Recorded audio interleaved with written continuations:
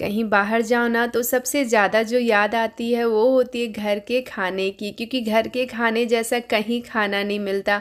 आज मैं बना रही हूँ बहुत ही सिंपल एंड बहुत ही टेस्टी लंच की थाली, जो कि आप कभी भी बना सकते हैं, कुछ स्पेशल मन करे खाने का या फिर कुछ सिंपल, या फिर घर में कोई गेस्ट आ रहा हो। तो सबसे पहले मैं इधर बनाऊँगी राजमा। तो ये मैंने छोटे वाले राजमा लिए थे, जो कि मैंने रात में ही भिगो के रख दिए थे।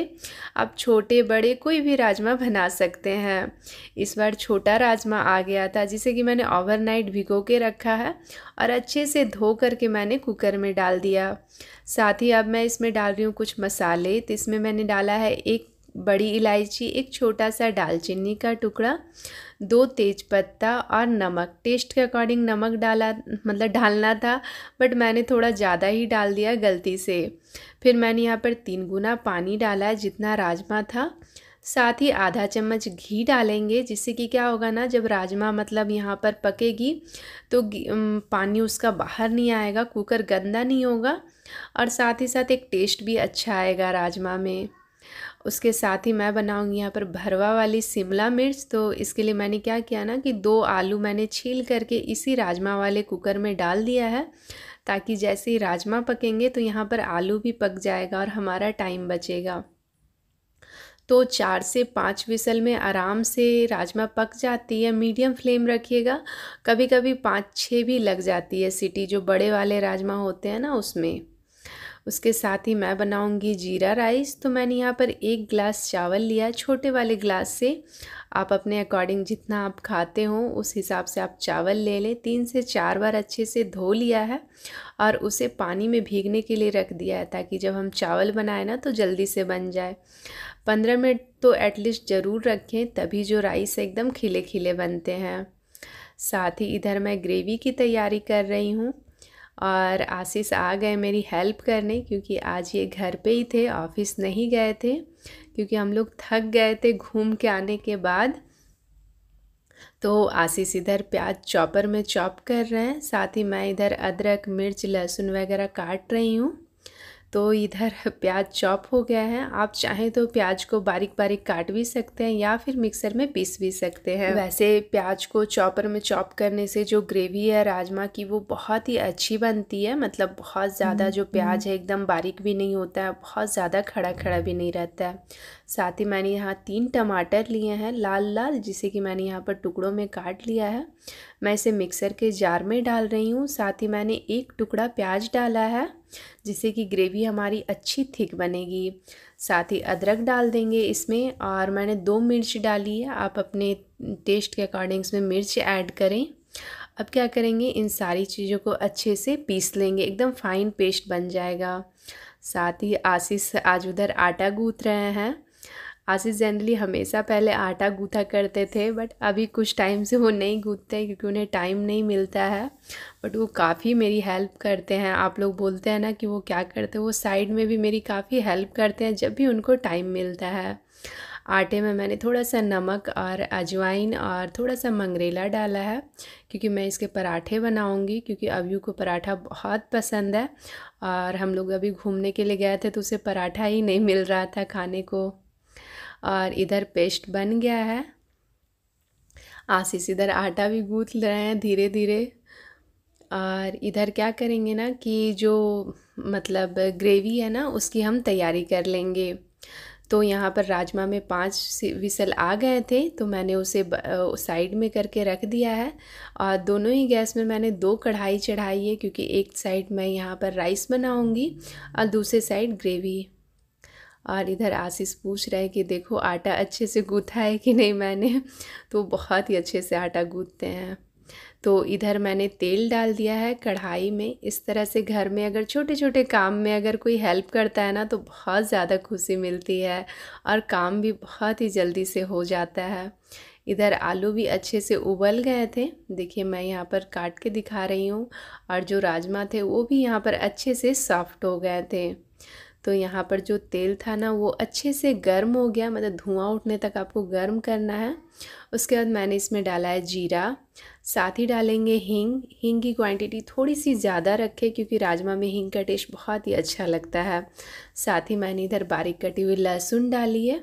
और हाँ जब मैं टमाटर वाला पेस्ट बना रही थी ना, उसमें मैंने लहसुन नहीं डाला था। अभी मैं यहाँ पर बारीक काट करके लहसुन डाल रही हूँ। उसके बाद जब लहसुन अच्छे से भुन जाए तो मैंने यहाँ पर प्याज डाल दिया, जिसे हमने चॉप करके रखा था। साथ ही मैं इधर दूसरे साइड में घी डाल रही हूँ कढ़ाई में, और एक से डेढ़ चम्मच के करीब मैंने इसमें जीरा डाला है। साथ ही दो तेज पत्ता छोटे वाले, एक दालचीनी का टुकड़ा और आधा चक्री फूल ऐड किया है। यहाँ पर जीरा जब अच्छे से मतलब भुन जाए तो हम इसमें ऐड कर देंगे राइस। तो राइस से मैंने यहाँ पर पानी निकाल दिया था और इसे दो से तीन मिनट तक के लिए अच्छे से भूनेंगे। मतलब दो तीन मिनट नहीं, एक मिनट तक के लिए ही। और इधर प्याज भी अच्छे से भुन रहा है और राइस भी इधर भुन गई है। तो मैंने यहाँ पर एक गिलास राइस ली थी तो इसके लिए मैंने यहाँ पर सवा दो गिलास पानी डाला है। कभी कभी दो ग्लास में भी हो जाता है, कभी नहीं पकते हैं तो आप थोड़ा बहुत और भी ऐड कर सकते हैं। साथ ही मैंने यहाँ पर टेस्ट के अकॉर्डिंग नमक ऐड किया है। और इसे क्या करेंगे ना कि हम ढक करके एकदम स्लो फ्लेम पे छोड़ देंगे धीरे धीरे जीरा राइस बहुत ही अच्छे से उसमें हो जाएगा। साथ ही इधर प्याज भी अच्छे से भुन गया है तो मैं इसमें ऐड कर रही हूँ हल्दी। तो थोड़ा सा हल्दी डाल रही हूँ, बहुत ज़्यादा नहीं, साथ ही एक चम्मच जीरा पाउडर डाला है मतलब छोटे वाले चम्मच से, एक चम्मच धनिया पाउडर और एक चम्मच मैंने यहाँ पर डाला कश्मीरी लाल मिर्च का पाउडर। यहाँ पर इसे अच्छे से भूनेंगे और थोड़ा थोड़ा करके इसमें राजमा वाला जो पानी था ना, जो फ्लेवर वाला, वो हम इसमें ऐड करेंगे दो से तीन चम्मच। इस तरह से मसाले जलेंगे भी नहीं और बहुत ही अच्छे से इसमें फ्लेवर भी आएगा। साथ ही जो टमाटर वाला पेस्ट था ना, वो अब इसमें ऐड कर देंगे। और यहाँ पर इसे अच्छे से भूनना है टमाटरों को जब तक कि कढ़ाई छोड़ने ना लगे, उतने देर तक। साथ ही इधर आशीष चटनी बनाने की तैयारी कर रहे हैं, क्योंकि अगर राजमा में चटनी ना होना तो फिर खाने का मज़ा नहीं आता है। और इधर जब तक प्याज टमाटर भून रहे हैं, मैं इधर राइस चेक कर रही हूँ। और राइस यहाँ पर अच्छे से सॉफ्ट हो गए हैं, बहुत मतलब ज़्यादा टाइम नहीं लगता अगर राइस भीगे हुए हों तो। सात आठ मिनट में राइस रेडी हो जाती है। यहाँ इसे बहुत ज़्यादा नहीं चलाएँगे। हरा धनिया डाल करके छोड़ देंगे। इधर जो प्याज है, अच्छे से भुन गया है, टमाटर तो मैं इसमें राजमा ऐड कर रही हूँ। थोड़ा सा पानी मैंने निकाल दिया था, जो कि मैंने बाद में ऐड किया था इस समय। और इधर राजमा अच्छे से यहाँ पर उबलने के लिए हम यहाँ पर छोड़ देंगे ढक करके। पाँच से सात मिनट तक के लिए इसे ज़रूर से उबालें। और इधर मैं चटनी बनाऊँगी तो इसके लिए मैंने यहाँ पर धनिया काट के रखा है, साथ ही इधर पुदीना धो करके, और दो मैंने आंवला लिया है, अदरक, मिर्च और लहसुन लिया है। तो लहसुन की मैंने दो कलियाँ डाली है बस, और ये आंवले की चटनी बहुत ज़्यादा टेस्टी लगती है। अगर आपने पहले कभी नहीं ट्राई किया ना तो ज़रूर से ट्राई कीजिएगा, बहुत ही अमेजिंग वाला टेस्ट आता है। इसमें मैं डाल रही हूँ सादा नमक, काला नमक थोड़ा सा भुने हुए जीरे का पाउडर और थोड़ी सी मैंने इसमें हींग डाली है, साथ ही इसमें ठंडा पानी डालेंगे, जिससे कि चटनी का कलर बहुत ही अच्छा आता है। आप अगर आंवला नहीं डालना चाहते तो टमाटर डाल सकते हैं, इमली डाल सकते हैं, नींबू डाल सकते हैं या फिर दही भी डाल सकते हैं, उससे भी चटनी बहुत ही अच्छी बनती है। और इधर जो राजमा है, वो भी इधर अच्छे से उबल गया है। पाँच से छः मिनट हो गए हैं उबलते हुए। देखिए, कितना परफेक्ट कलर आया है। राजमा जब भी बनाए ना तो जो टमाटर लेना वो एकदम लाल लाल लें तो राजमा का कलर बहुत ही अच्छा आता है। साथ ही मैं इधर राजमा में एक तड़का लगाऊँगी, उसके लिए मैंने घी डाला है, जीरा, दो हरी मिर्च और एक सूखी लाल मिर्च, थोड़ा सा अदरक के लच्छे कसूरी मेथी और थोड़ी सी मैंने यहाँ पर कश्मीरी लाल मिर्च ऐड की है। जो तड़का है ना, वो हम इसमें ऐड कर देंगे राजमा में। साथ ही मैंने यहाँ पर ऐड किया बारीक कटा हरा धनिया और राजमा यहाँ पर बिल्कुल तैयार है। मैं लास्ट में गरम मसाला ऐड करना भूल गई थी। आप लोग ज़रूर से ऐड कीजिएगा। देखिए, यहाँ पर राजमा बहुत ही ज़्यादा टैम्पटिंग लग रहा है। मैंने अभी इसे थोड़ा पानी वाला ही रखा है, क्योंकि बाद में ये और भी गाढ़ा हो जाएगा। अब मैं इधर बना रही हूँ भरवा शिमला मिर्च, जो कि ये भी अच्छी लगती है खाने में और बनाना बहुत ही ज़्यादा आसान होता है। तो मैंने यहाँ पर पैन में तेल डाला है, अदरक, मिर्च और लहसुन डाला है मैंने, बारीक कटी हुई। साथ ही मैंने यहाँ पर एक छोटे साइज़ का बारीक कटा प्याज डाला है। हल्का सा इसे भून लेंगे, फिर इसमें डाल देंगे हल्दी थोड़ी सी लाल मिर्च पाउडर थोड़ा सा पिज़्ज़ा सीजनिंग डाला है, इससे इसका टेस्ट बहुत ही अच्छा आता है। अगर आपके पास नहीं हो तो स्किप कर सकते हैं। साथ ही आधा चम्मच चाट मसाला डालेंगे और इसे अच्छे से भून लेंगे। उसके बाद इसमें आलू ऐड कर देंगे। आलू राजमा के साथ बॉईल किया था ना, इसलिए लाल दिख रहे हैं। साथ ही नमक और बारीक कटा हरा धनिया डाल करके इसे दो से तीन मिनट तक के लिए अच्छे से भून लेंगे।